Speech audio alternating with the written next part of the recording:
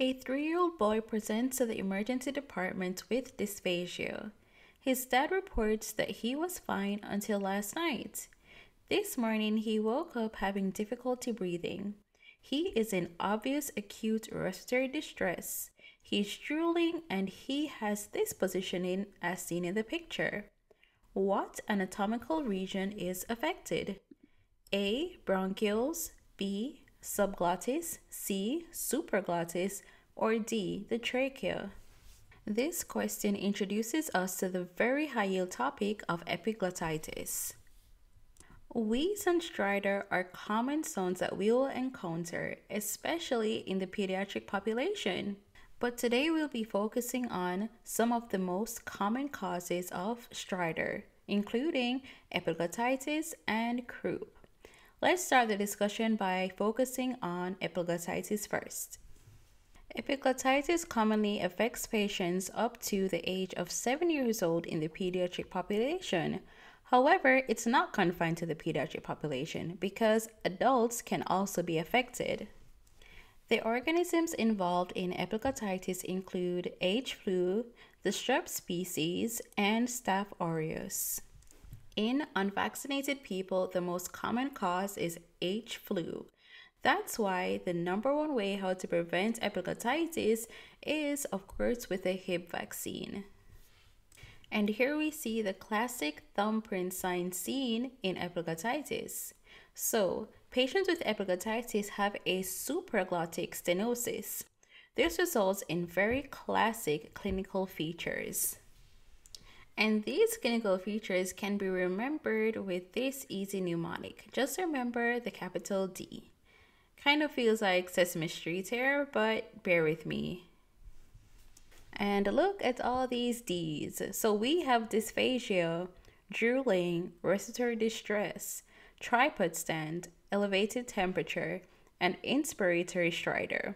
These are all extremely high yield because question stems can approach these in different ways. For example, we can see options where they're trying to confuse you, putting options like expiratory stridor versus inspiratory stridor. But of course, you won't be confused because you are watching this video right here. So, another important thing to note is that they use a tripod stand to help them improve their breathing. So in the tripod position, they have their head kind of slightly leaning forward and their tongue is sticking out and they have this position because it allows maximum air entry into the lungs. So if you're seeing a patient with suspected epiglottitis, we should avoid laying them down on their back. These patients are classically described as having a toxic appearance, just looking very, very ill and having a lot of difficulty breathing. Well, the question now is how do we manage these patients? And the priority is to secure the airway. The best initial step is endotracheal intubation. However, if that's failed or it cannot be done for any reason, then we move on to surgical airways, such as a tracheotomy or a cricothyroidotomy.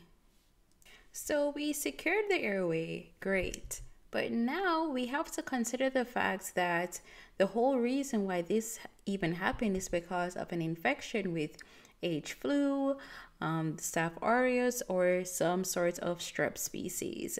So we have to give them antibiotics. And the antibiotics of choice are ceftriaxone and vancomycin. So ceftriaxone is given to cover H. flu and the strep species. However, vancomycin is given to cover Staph aureus. So with the combination of these two antibiotics, we're basically treating or covering all the possible bugs that can lead to epiglottitis. So for extra points, remember that if we do a detailed oropharyngeal exam, this can lead to laryngospasm, which can of course worsen the patient's already acute respiratory distress. So it is recommended that we avoid doing this detailed oropharyngeal exam. It's also been reported that even doing other tests such as blood work can cause laryngospasms. So, back to our initial question here.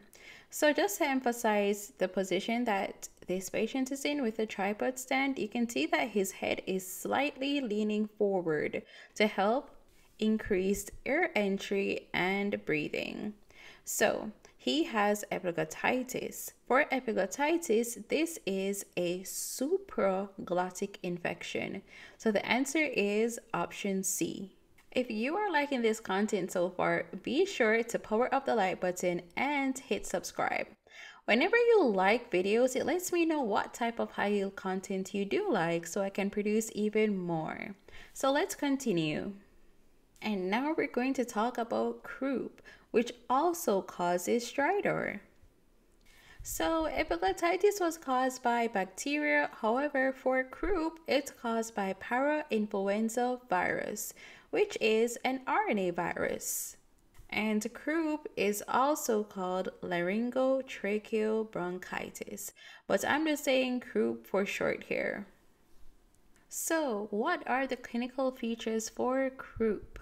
Well, typically these patients have a prodrome of a upper respiratory tract infection and it classically occurs in patients between 3 months to 3 years, which is a bit younger than patients who are affected by epiglottitis. So, once they have this prodrome, then they go on to develop an inspiratory stridor and a seal bark cough. This is so, so, so, so important to remember the seal bark cough seen in croup. Another high yield fact to be aware of is this classic x ray finding, which is the steeple sign. Take good notes of it because you might just see it on exam day. The treatment of croup depends on whether the symptoms are mild or severe. So if it's mild, that means that they have no inspiratory stridor at rest. In this instance, we give the patient a single dose of steroids. However, for severe croup, that means that there is inspiratory stridor present at rest, and we give them steroids and nebulized epinephrine. But what if if all of that fails? We give the steroids, we give epinephrine, we give humidified air, but none of it is working. So what do we do? Well, then we have to move on to intubation and mechanical ventilation. So this is indicated for failed medical management or if the patient has impending respiratory distress. Now let's review and compare croup and epiglottitis. So remember that croup can affect patients up to 7 years old, while patients who have epiglottitis are a bit younger, affecting patients between the ages of 3 months to 3 years old. But of course, epiglottitis can also affect adults. Croup is subglottic, while epiglottitis is supraglottic. Also, the onset of croup is a bit slow, while in epiglottitis, it's very rapid. So for parents, it kind of seems like one minute their child is okay, the next minute they're having difficulty breathing, they're drooling, they're in this tripod stand. So just remember, rapid onset for epiglottitis. And of course, in croup, they have the cough, the classic seal bark cough. While in epiglottitis, that isn't so common for them to have a cough. On x ray, we see the steeple sign on the anterior posterior view. However, on the lateral view, we see the thumb sign in epiglottitis. And of course, the organisms that cause croup and epiglottitis are very different. In croup, it's a virus. In epiglottitis, it's bacteria. So, parainfluenza virus commonly causes croup, while in epiglottitis, it can be caused by H. flu, strep species, or Staph aureus. One key way that we can prevent epiglottitis is by giving the Hib vaccine. Epiglottitis is an emergency, and the initial step is often securing the airway with endotracheal intubation. But for croup, they can be managed with medical treatment such as steroids and epinephrine. Nebulized epinephrine. And if all of those medical treatments fail, then we move on to securing the airway and even providing mechanical ventilation. So let's do another practice question. A two year old presents to the emergency department with dyspnea. His mother said he was fine until this morning. He ate breakfast and started playing with his toys when he started to have difficulty breathing. Physical exam revealed unilateral wheezing. His respiratory rate is 40 and his temperature is 98. What is the most likely diagnosis? A. Croup. B. Foreign body aspiration. C. Epiglottitis. Or D. Laryngomalacia. So this patient is experiencing acute dyspnea. In this case, we have to consider two main differentials, and that includes epiglottitis and foreign body aspiration. So that leaves us with option B and C. Option A is not the answer because in croup, they have a viral prodrome and the onset isn't that acute. In laryngomalacia, it's the same and it's a bit more chronic in presentation. So, despite his acute dyspnea, his temperature is normal.